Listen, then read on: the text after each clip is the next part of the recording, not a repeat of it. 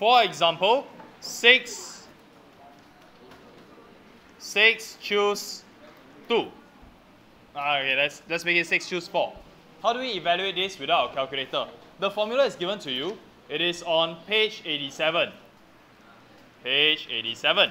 This can be written as 6 choose 4 like this. They are the same. Whichever way you write it will be okay. So here we know that it is going to end up as a fraction. How many terms are there in the denominator? Four. Four terms. What does the what is the first term? Four, then times three times two times one. What about the numerator? How many terms are there? Four. What does it start with? Six. Nine. Four. Three. Now this is how you evaluate it ah, without using a calculator. Okay, so we do the cancellation, 4 and 4, 3 and 3, 2 and 6. So the answer will be 15. Okay? Now, um, we also learned that 1 plus b to the power of n, where n can be a number 0, 1, 2, 3, 4, 5, 7, 8, 10, whatever it is, positive integers only. Uh. And this b over here is an unknown. b could be x, it could be x squared, it could be um, negative x, negative y, um, negative y squared, 3 over 2x, so on and so forth. So many possibilities for, for b. Okay? But when we expand it, it will look like a certain form. First, how many choose what? The very first term. We know it is 1, lah, okay? We know it's 1. But how do we write it in terms of something choose something? n choose? Are you sure? Ah, we start with 0. n choose 0. Because n choose 1 will be n. n choose 1 will be n. Okay? There are n number of people here. I want you to choose one person. How many ways are there of doing it? n ways. But if I want, uh, I've got n people here, I want you to choose 0 people. So how many ways are there of doing it? I want you to choose 0 people. There's only one way to choose 0, right? Uh, so there's 1. lor. So this gives us 1. Okay?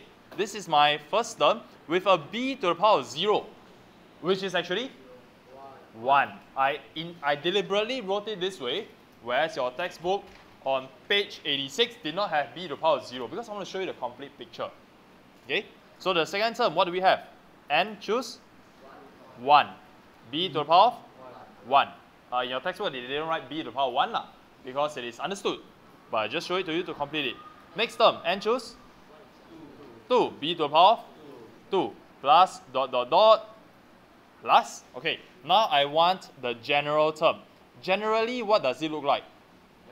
n choose r. Okay, and b to the power of r. Look at the look at the pattern. All right. So this n choose r, and this is somewhere in the middle. Then plus dot dot dot plus what is the last term?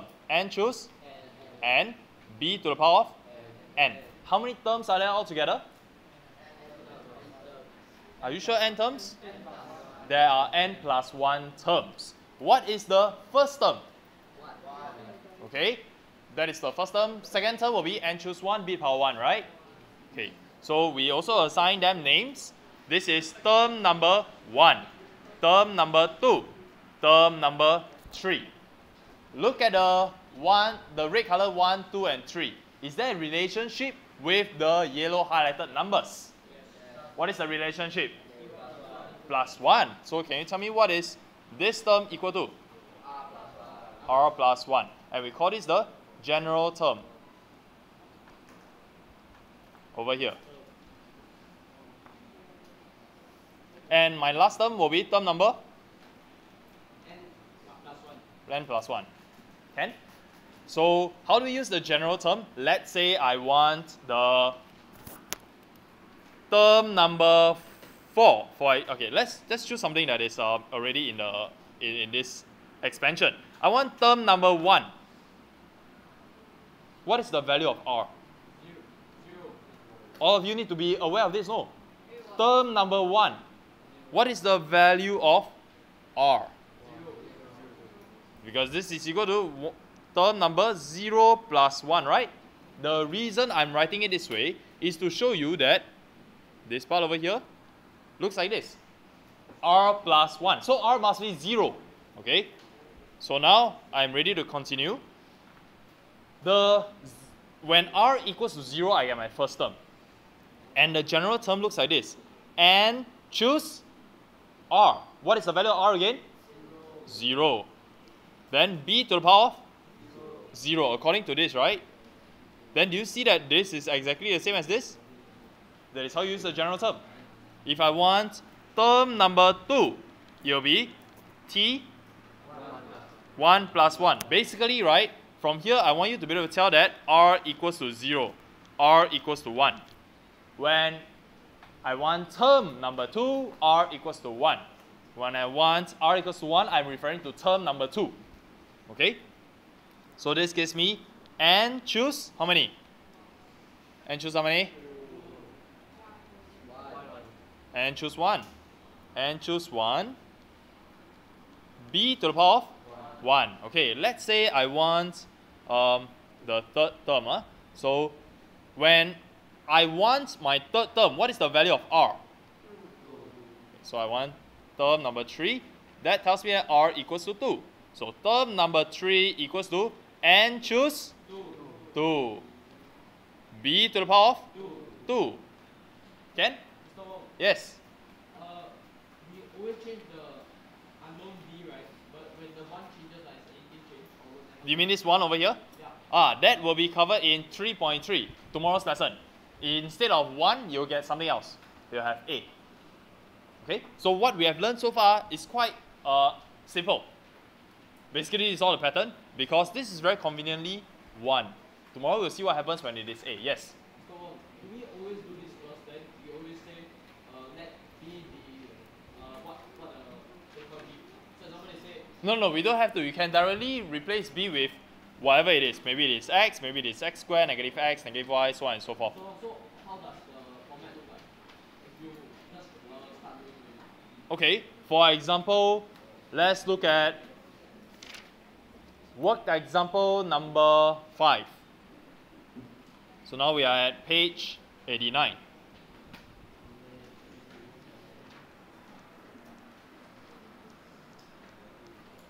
In the expansion of 1 plus kx to the power of 8, okay, we are gonna, we have this binomial over here which you can choose to expand, you can choose not to expand. I want you to compare with earlier on what we had, which was 1 plus b to the power of n. Do you see the similarities? Do you see the similarities between the blue and the black one? Okay, what is the value of b in this case? kx. What is the value of n in this case? 8. Are you familiar with how to expand the one in blue? Yes, right? So every time you see the b, you change it to kx. Every time you see n, you change it to 8. Okay? So let's see what else the question says. Um, k is more than 0. And coefficient of x squared, oh sorry, x cubed is 4 times coefficient of x squared. Find k. Let's see how we tackle this question. Huh? What do you think is a possible approach to solving this? Possible. I'm not saying that it's the best way or whatever. Expand first. Expand, okay. Uh, you realize that if you expand this, you will get 1, 2, 3, 4, 5, 6, 7, 8, 9 terms, right? And out of which there will be an x, okay, this will be an x0 term, this will be x1, x2, x3, x4, x5, x6, x7, and x8 term, right? If you manage to expand it out, this is what you will get. Just that I don't know what the coefficients are. I mean, you can find out. And they're all added together, correct? Is this what happens? Yes, okay. Now they say that the coefficient of x cubed. So I need to identify, oh, this is my x cubed term. It has a certain coefficient which I have not evaluated yet. Okay, and then uh, it is 4 times the coefficient of x squared. So these two coefficients are different. One is 4 times the other. And you're told to find k. Will this method work? Will this method work? No. So let's say we, without working it out, let's say um, the coefficient of x cubed is, for example, um, k plus 1. For example, uh, then the coefficient of x squared is, for example, um, k squared. Okay, let's simplify it. Um, k minus 1. Okay. Let's say these are the two coefficients. Can you work out k? Yes, right? Because all you need to do is to say, to say that, oh, coefficient of x cubed, which is k plus 1, equals to 4 times the coefficient of x squared, which is k minus 1. And then you can solve for k, isn't it? Right? So this method will work. But do you see that it is going to be very tedious because there's a lot of information that we don't need. For example, what don't we need if we were to expand this? Yeah, all these, all these are rubbish. They- I mean, they're not rubbish, but they are irrelevant, right? Yes? Just choose choose something. choose something. Wait, wait, uh, what's your question? Okay. How do you intend to use a calculator to find the x cubed term? Okay, so this is what he's suggesting. Huh? 8 choose 3, then? Or 8 choose 2. Uh? Okay, then?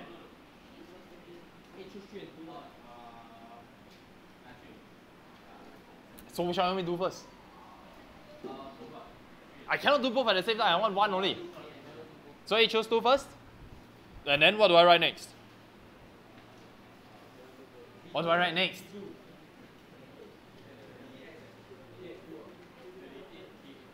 Twenty. Where the twenty-eight came come from? No, I I want. What are you trying to do over here?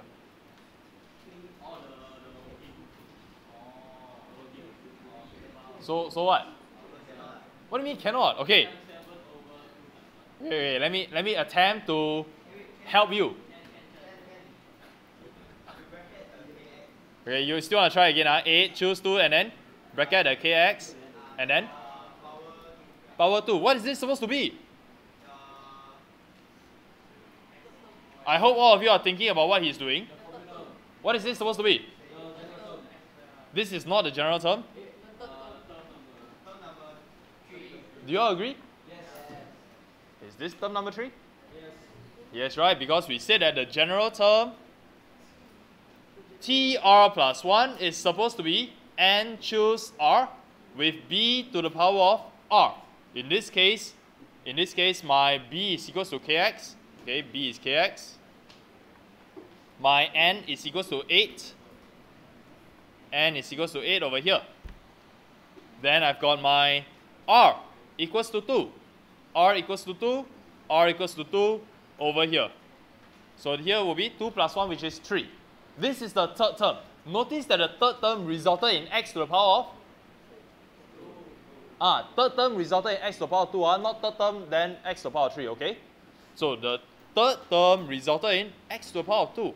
And this allows me to get the term with the x square immediately, right? Or you need to use your calculator for this. lah. Okay, 8 choose 2, how much is that?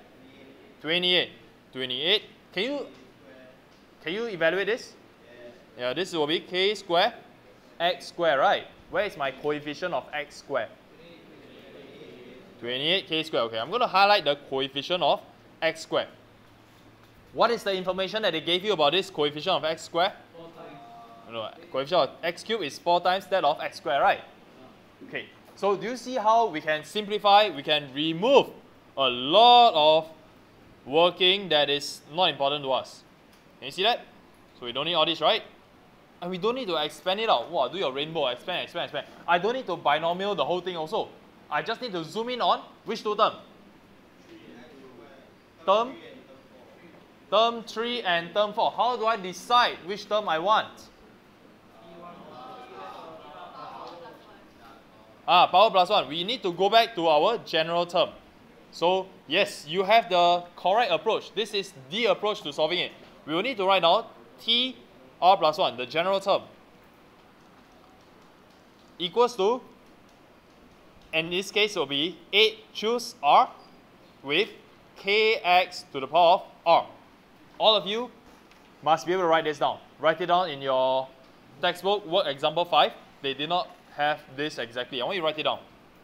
tr plus 1 in this case will be 8 choose r with kx to the power of r.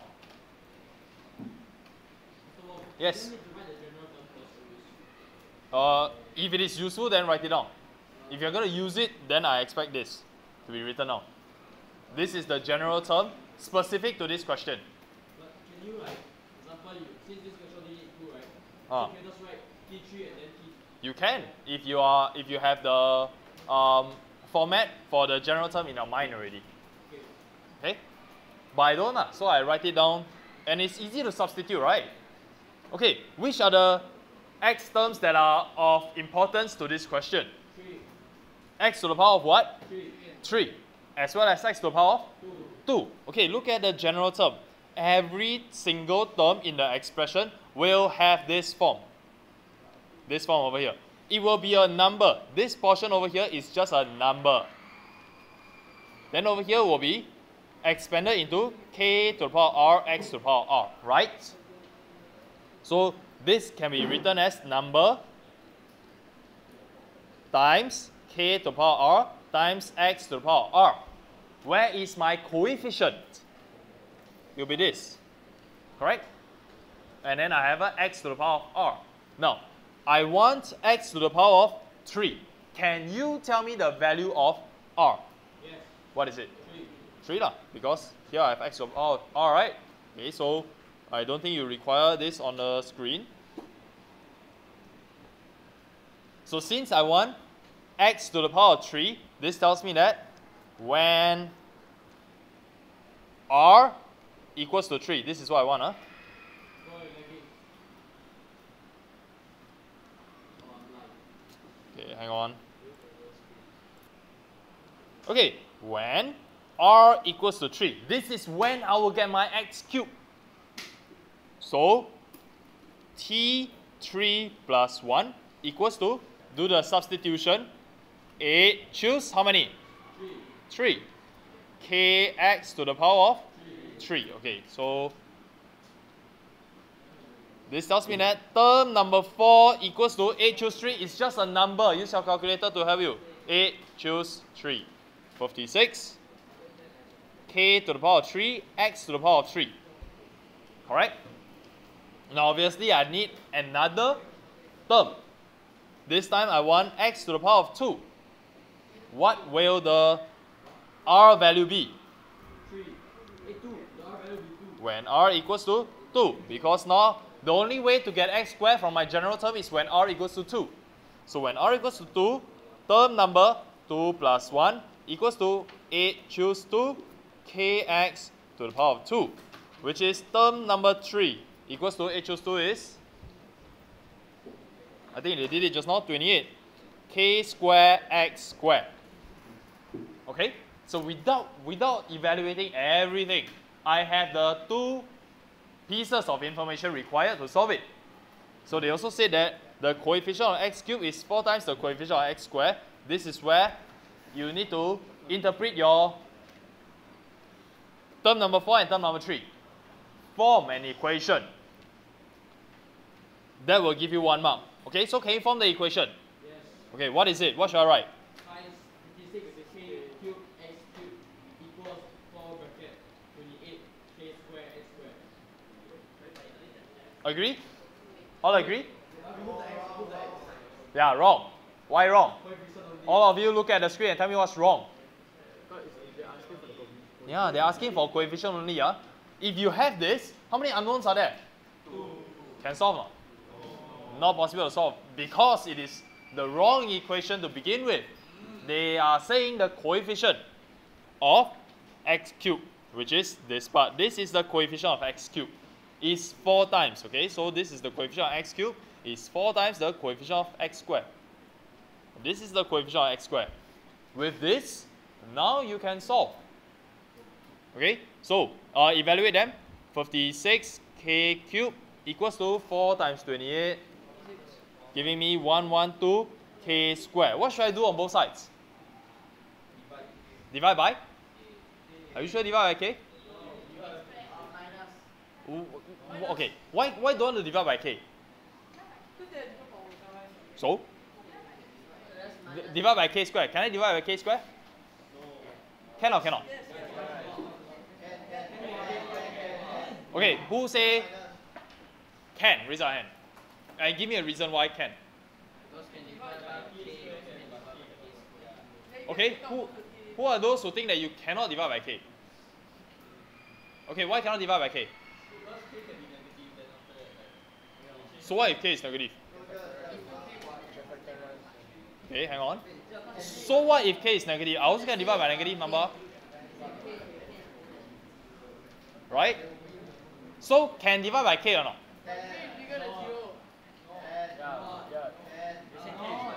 Okay, listen. The only reason that we cannot divide by k is if we are dividing by. Why cannot divide by negative number? When you when you when k equals zero, then you cannot divide by k, right? Because you cannot divide by zero. But in this question, what did they say about k? Ah, uh, k is more than zero, so can divide by k or not? Can. But I prefer to um, factorize. Yes, I will factorize it. Be, besides dividing by k or factorizing k or k square, what else can we divide by? 56. Why not we divide by 56? We get k cubed equals to 2k squared, isn't it? So now I move everything to one side. k cubed minus 2k squared equals to 0. I factorize out k squared. I get k minus 2 equals to 0. Right? This is how you should be doing it. Huh? If the question did not say that k equals to 0. If the question did not say k equals 0, you must do this. Okay, so next we get k equals to 0 and we reject or k equals to 2. The reason we reject is because the question already said k is greater than 0. Okay? Yes? What method? You mean on this side? If the question allows you to do it, then do it. Lah. Okay? Can follow? Why don't you try practice now 5? Very similar question. Just take 5 minutes for it.